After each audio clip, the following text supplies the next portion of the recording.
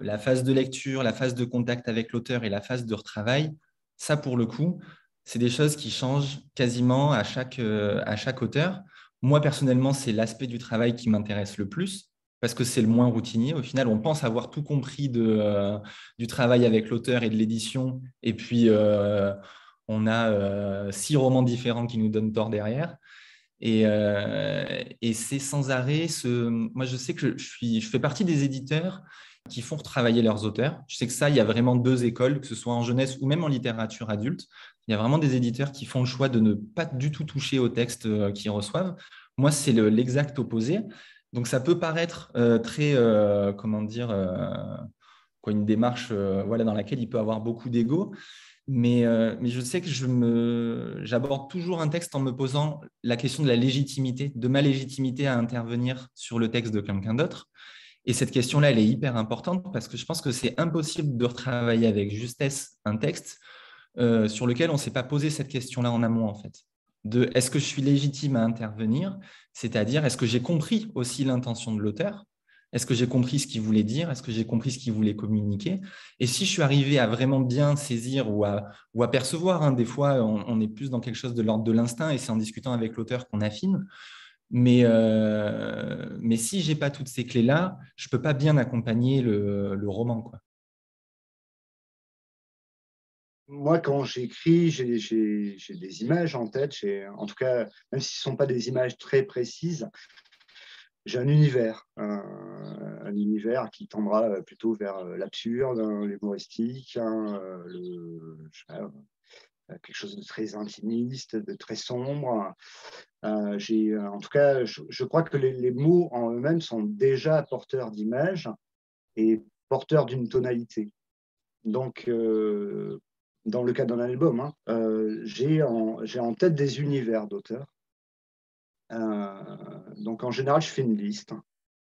Je fais une liste que je joins à mon envoi à l'éditeur en disant voilà les univers qui, selon moi, pourraient euh, s'appuyer, développer, enrichir mes mots. Euh, c'est pas du tout une contrainte pour, enfin, je l'entends pas comme ça pour, pour l'éditeur, c'est juste un, pour moi une, une manière d'ancrer déjà euh, le texte dans un univers graphique. Euh, bah, ensuite, c'est simple, hein, soit l'éditeur dit oui, soit il dit non, déjà. Hein. Euh, et s'il dit oui, à ce moment-là, on, discute de qui serait le plus à même de, poser des images sur ces mots. Et donc, c'est une discussion dans laquelle rentre bah, pas mal de paramètres, hein, le côté artistique, bien sûr, euh, le côté financier aussi, j'imagine, pour l'éditeur, parce que bah, comme dans tout, il y, a, des modes, hein, et dans l'illustration, mine de rien, il y a des modes, et puis il y a, le goût personnel de l'éditeur. Et ensuite, hein, bah, ensuite, il faut que l'illustrateur ou l'illustratrice soit, libre, hein, aime le texte. Euh, donc voilà, c'est euh, c'est une, petite mécanique à, trouver qui, qui, parfois prend des mois, en fait.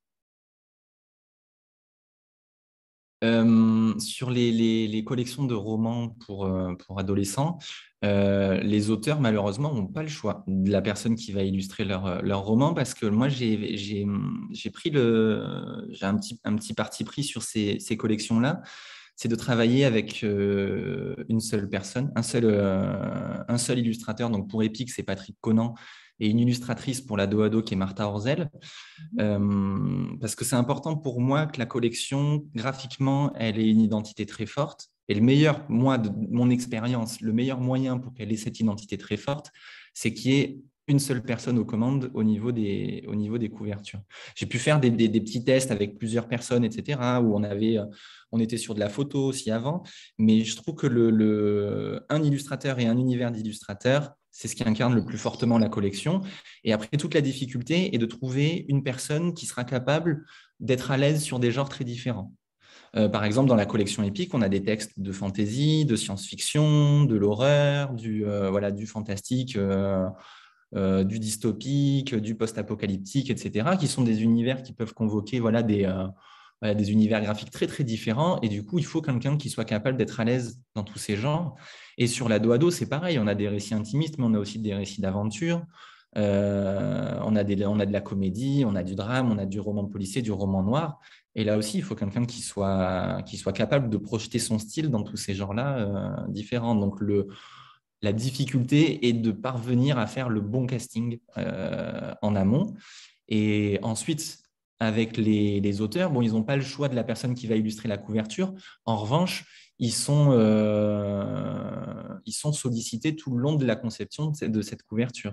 il y a toujours, par exemple, une étape de, discussion en amont sur, par exemple, comment l'auteur va se projeter sur la couverture, si déjà il a une idée, une idée en tête. Euh, ensuite, il y a une étape de crayonner où l'illustrateur marque son intention au niveau de la composition, de la présence ou non de personnages. Ça peut être les couleurs aussi. Et cette étape-là, moi, je la soumets toujours aux auteurs, parce que ça permet ben, d'échanger, de, faire évoluer, d'apporter des, euh, modifications avant l'étape euh, de la couverture définitive, où là, en général, c'est très compliqué d'intervenir à nouveau et de faire des, modifications importantes. Donc, euh, donc, voilà, mais je sais que chez d'autres éditeurs, ces étapes-là n'existent pas du tout. Quoi. Euh, où, l'auteur va découvrir le, visuel, le visuel définitif euh, à, la fin du projet.